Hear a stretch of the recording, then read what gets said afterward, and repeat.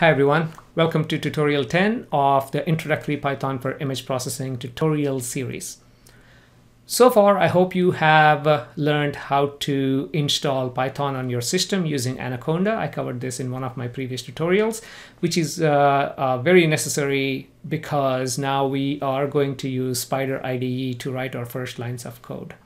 So let's uh, jump into the Spyder IDE. It's part of your Anaconda, by the way. You can just go into your Anaconda 3 folder, shortcuts folder over there, and then just open up Spyder, which should open this uh, integrated development environment. And again, just a quick recap, left-hand side is where we type a whole bunch of code to create a text file that can be executed by Python.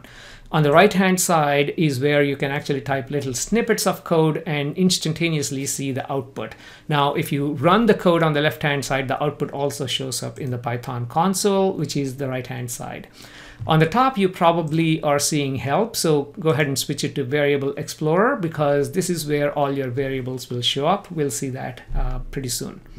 Okay, so now let's actually write our first few lines of code. Normally, whenever you start writing your uh, learning a new coding language, it's customary to write uh, or print hello world, which we will do. But even more important than print or anything is com uh, commenting your code.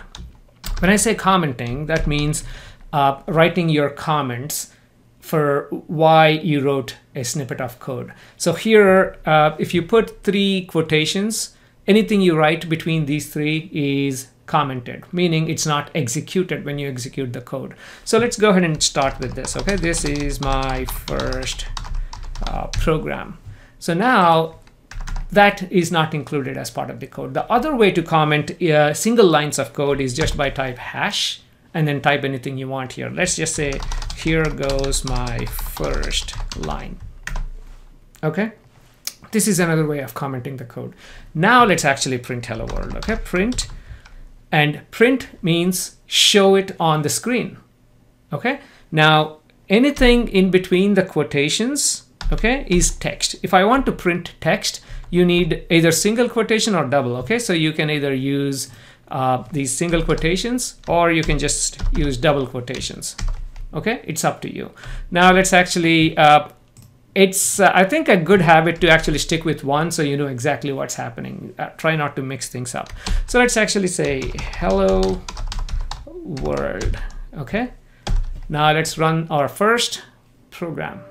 Hit this run file or f5 okay? Click right there. There you go. Hello world. We got it yeah so the text again we said it should be in between these quotations but you can for example assign variables let's say I want my a equals to 2 now you can actually say print a I do not need the quotations. If you put quotations, let's actually go ahead and do both. So now I'm printing, okay, I selected only these two lines because I don't want to execute the top part. So I'm going to select, click this button, run selection, okay?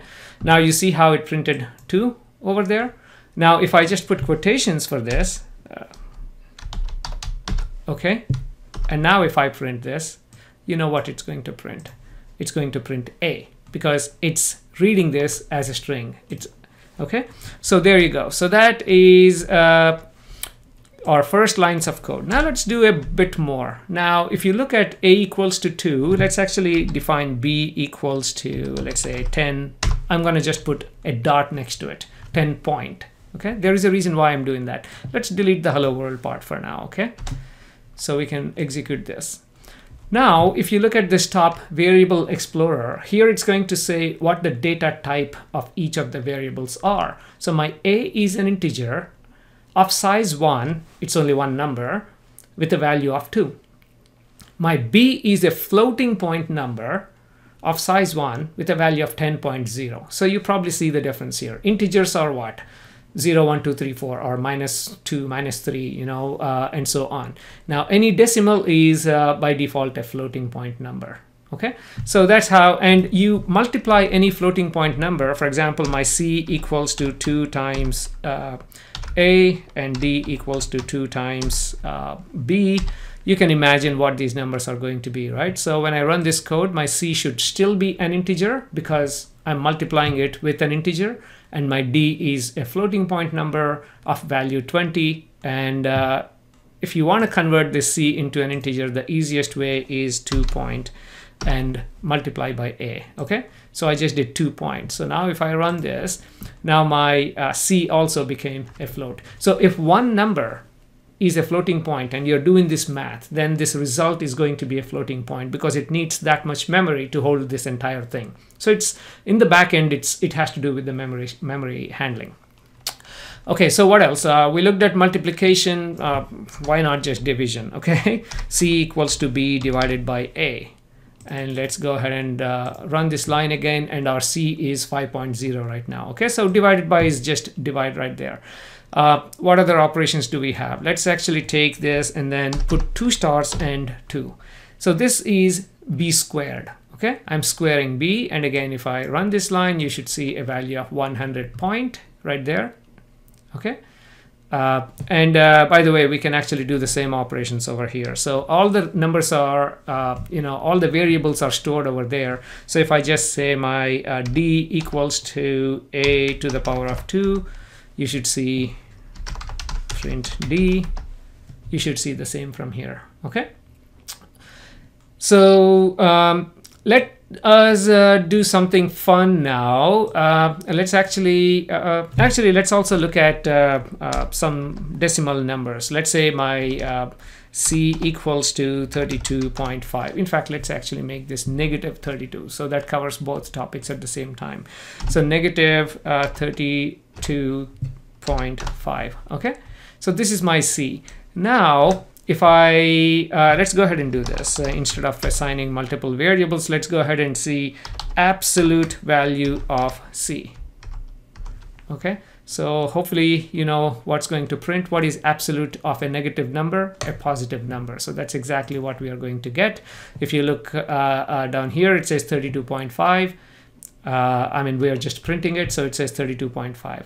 Now you can actually round off numbers. So instead of ABS, go ahead and type round. I don't know why it's doing this, round of C. And let's run these lines again. Uh, what did I do? Oh, sorry, one parenthesis missing. So let's go ahead and run this one more time. You can see minus 32. So as you can see, rounding is nothing but you know, uh, basically, as we learned in our, uh, you know, elementary school math, it rounds to the nearest integer.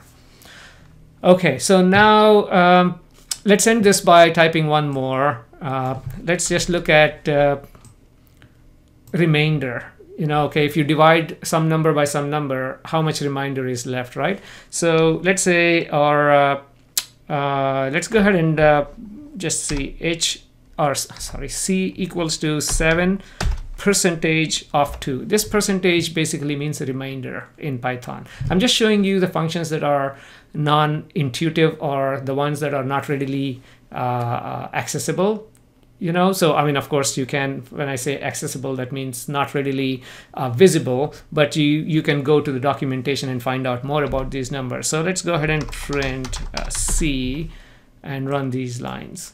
And hopefully we'll see a value of 1 because that is when you divide 7 by 2 6 6 remainder is 1 right? So if we actually do a value of 3 I don't know let's put some number there 227 223 I don't know 227 mod 3 I have no clue but yeah it looks like the remainder is 2 Okay, so here are a few lines for you and go ahead and practice this. Go ahead and uh, think of something else and then, you know, uh, try to try to type it and you'll probably get some error messages like I just got here and you learn by making these type of mistakes. So I hope you found this to be useful and actually let's build on this and understand a bit more in the next tutorial by talking about operators and uh, some basic math. Thank you very much.